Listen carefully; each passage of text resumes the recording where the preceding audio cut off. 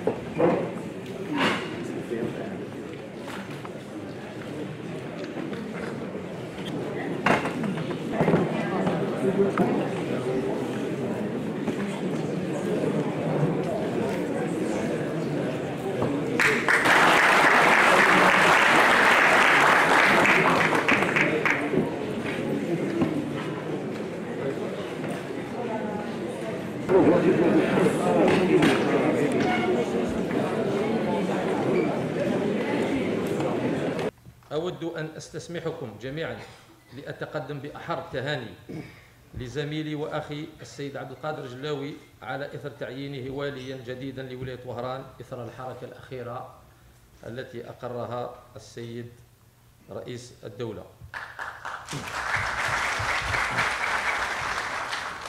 هذه الولاية الكبيرة بآمالها وطموحاتها أبنائها الكبيرة أيضا بحكم موقعها ومكانتها على الصعيدين الوطني والإقليمي.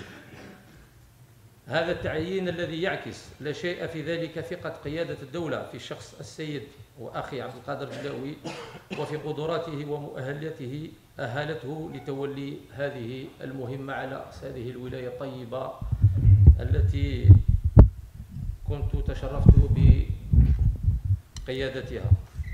كما أستغل هذه المناسبة وهي الأخيرة التي تتاح لي بهذه الولاية لأتقدم أولا بجزيل الشكر والتقدير والعرفان وكذا بأسمى آيات التبجيل للدولة الجزائرية بكل مؤسساتها.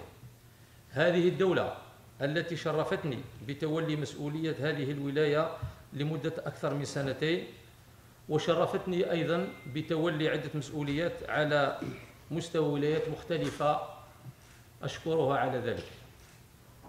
مسؤولية أشهد الله على أنني بذلت فيها أقصى ما أستطيع من أجل أن أخدم هذه الولاية وأخدم سكانها وأبنائها. وسأضع كل خبرتي في مدن مثلتها مثل الجزائر العاصمة وغيرها من المدن التي عملت بها. ولا أشك أن أبرز هذه التحديات كما هو معلوم هو الموعد الدولي الهام الذي ينتظر المدينة وهو الدورة 19 لألعاب البحر الأبيض المتوسط.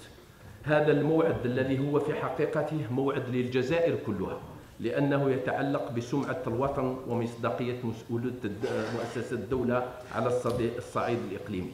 إذا لا بد أن يكون هذا الموعد فرصة نبرز من خلالها قدراتنا التنظيمية وصورتنا كدولة لها من الطاقات المادية والتنظيمية ما يمكنها من احتضان وتشريف أكبر المواعيد الدولية في شتى المجال. والأكيد أن هذا الملف سيكون موضوع مشروع متكامل متعدد الأبعاد سنعمل على صياغته وتجسيده وسيحتل حيزا كبيرا من اهتمامنا في إدارة شؤون هذه الولاية. أن ولاية وهران كغيرها من ولاية الوطن تعرف تركيزا سكانيا كبيرا وتوسعا عمرانيا متعدد الأبعاد ما يجعلها تعيش إشكالات ترتبط بالسكن ومختلف صياغه.